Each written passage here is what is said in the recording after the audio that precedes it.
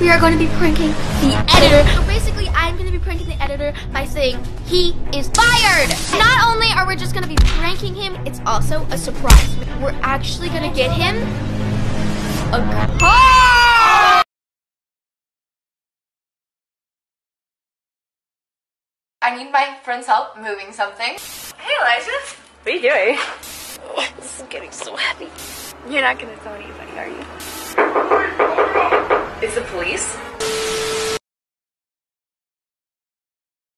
I need my friend's help moving something. Hey, Elijah. What are you doing? This is getting so heavy. You're not gonna tell anybody, are you? Is the police? Today we're doing the whisper challenge. Sneaky peek. Down while on on that.